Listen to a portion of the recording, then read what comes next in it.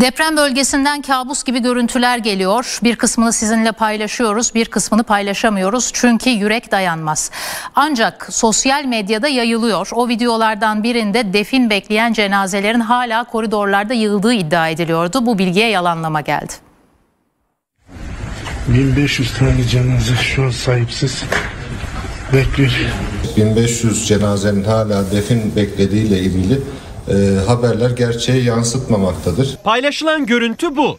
İddia da binlerce cenazenin hala hastanede olduğuydu. O görüntü yeni gibi servis edildi. Kaymakam da buna isyan etti. Vatandaşlarımızın defin işlemlerini hızlı bir şekilde o saatten itibaren yerine getirdik ve depremin 3. E, 4. gün itibariyle biz burada e, defin bekleyen bir vatandaşımızı bırakmadık. Çifte felakette can kaybının en ağır olduğu adreslerden biri Elbistan. Burası da Elbistan Devlet Hastanesi. Bunların çoğu sahipsiz herhalde. Elbistan bitmiş Elbistan. Vah Elbistan vah. O görüntü 6 Şubat'ta kaydedilmişti. Yani felaketten hemen sonra. Sosyal medyada yeni gibi paylaşıldı. Kaymakamın da tepkisi bunaydı. Görüntülerdeki durum depremin e, ilk günlerinde e, bizim canla başla mücadele ederken gerek enkaz altından gerekse de deprem nedeniyle hastanede vefat edenlerin sayısının ilk anlarda yoğun olduğu saatler. Aynı koridordan görüntüler de paylaşıldı. Ve hastanemizde şu an için defin bekleyen bir vefat durumu söz konusu değil. Sadece kaymakam değil, başhakim yardımcısı da tepkiliydi. Bir adet o da normal ölümle e, morgumuzda beklediğimiz bir cenazemiz var. Buradaki görüntüyü yayan kişilerin e, hastanemizdeki sağlık personeli rencide edecek ve şu andaki çalış, çalışma azmini de düşürdüğünü söylemekte zorunlu hissediyorum kendimi. Elbistan Devlet Hastanesi'nden gelen o cenaze görüntüleri yalanlandı. Ancak inkar edilemeyecek kadar kötü, kabus gibi ve güncel görüntüler de var, mevcut.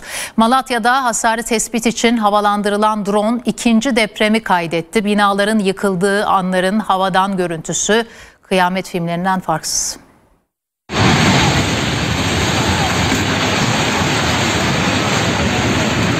İlk felaketin büyüklüğünü, enkazı görüntülemek için havalanmıştı. Drone ikinci kabusu saniye saniye kaydetti. Beş bina daha o kayıtta yıkıldı.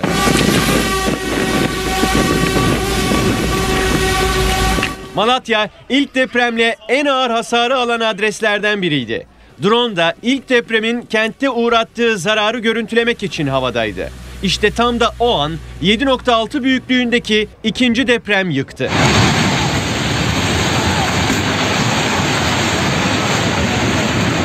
Hasarlı binalar peş peşe çökmeye başladı. Drone kamerası 5 binanın yıkılma anını kaydetti. Bir binada çöküntü mevcut merkez bilginiz olsun. Anlaşıldı tamam. Bu görüntülerde o gece Mobese kamera kayıtlarından, ses de polislerin telsiz kayıtlarından. Bu Pırlanta Otel yanındaki binada bir şahsı kendi imkanlarımızla çıkardık. Beyanlarına göre çok sayıda vatandaş olduğunu belirtiyorlar. Polisler peş peşe yıkım anonsları geçmeye başladı. İlk yardıma koşan da onlardı. Gibi binada yıkılmış efendim. Çarşı market karşısı bina yıkılmış efendim. Bilginiz olsun. 33 10 merkez. 3310 onun Malatya İl Emniyet Müdürü Ercan Dağdeviren'in koduydu. O saatten sonra tüm ekipleri o yönlendirdi. Tüm personeli de uyandırın. Uyuyan varsa herkes e, acil durum konumuna geçsin. Tüm personelimiz görev başına intikal etsin. Sayın 33 10 emirlerdir. Hem yeni çıkan görüntüler hem de polis kayıtları bir kez daha felaketin büyüklüğünü gözler önüne serdi. Anlaşıldı anlaşıldı tamam.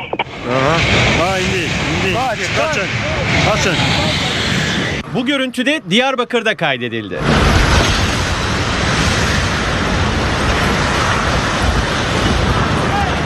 Sekiz katlı bina ağır hasarlıydı. Kontrollü yıkım yapılıyordu. İş makinesinin vuruşuyla bina yerle bir oldu.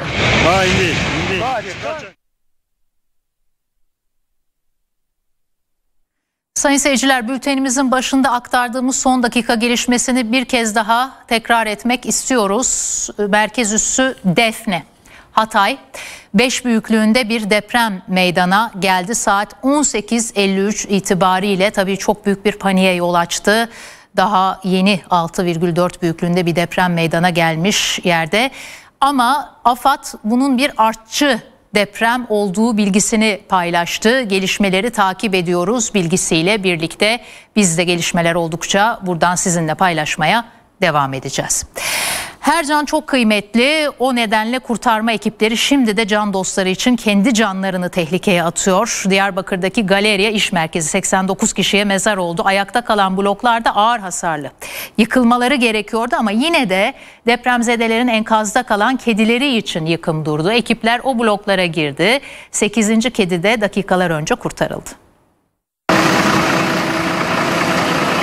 Benim annem. Ay benim annem. 18 gündür bu anı bekliyordu hepsi. Yıkım durdu. Ekipler ağır hasarlı binadaki kedileri tek tek çıkarttı. Onların kurtarılmasıyla dünyalar da sahiplerinin oldu. Çok mutluyum. Çok teşekkür ederim her şeye. Çok korkmuş durumda şu anda. Tamam kızım. Diyarbakır'daki Galeriya İş Merkezi. Bloklardan biri çöktü, site 89 kişiye mezar oldu. 20 kişi o enkazdan kurtarıldı. Diğer blokların yıkımına karar verildi. O yıkım içeride kalan kediler için durdu. Bir helikopter olay yerine geldi. Asker halatla aşağı sarktı. Binadaki hasar nedeniyle içeriye giremedi. Helikopter alandan ayrıldı.